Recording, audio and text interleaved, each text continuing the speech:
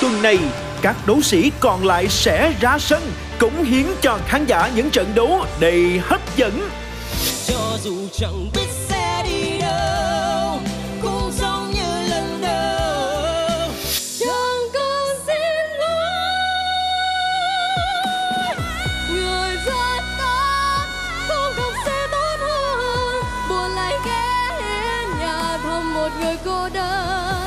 Với những lợi thế của mình từ tuần trước, liệu thủ lĩnh Hữu Đăng sẽ đấu tiếp với thủ lĩnh Nguyễn Đình Vũ và thủ lĩnh Thu Thủy sẽ ngư ông đắc lợi? không phải là mình tự cao mà mình tự tin. Nghĩ sao rớt hầm được? Sao mà được?